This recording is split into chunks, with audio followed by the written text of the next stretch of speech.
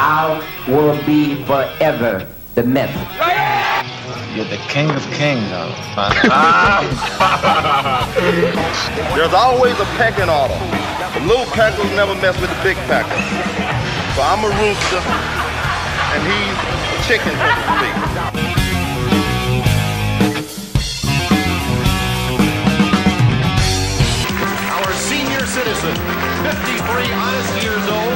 Former Mr. England, a former Mr. Universe, 1984 World Pro Champion, a big hand for the one and only Albert Beckles.